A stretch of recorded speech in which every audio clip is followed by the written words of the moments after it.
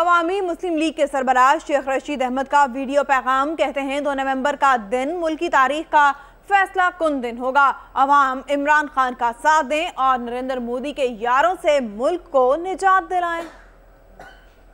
मैं आपका दोस्त, आपका बेटा, आपका भाई, शेख रशीद अहमद, सरबरा अवामी मुस्लिम लीग, आपसे अपील करता हूँ कि पाकिस्तान के लिए दो नवंबर को नवंबर को इमरान खान के साथ निकलें। और इन 28 अक्टूबर को लाल हवेली के बाहर तीन बजे पहुँचे। अल्लाह को मंजूर हुआ तो इस मुल्क को चोरों कमीशन खोरों दहशत गर्दों और मोदी के यारों से निजात दिलाकर दम लेंगे इन पाकिस्तान जिंदाबाद।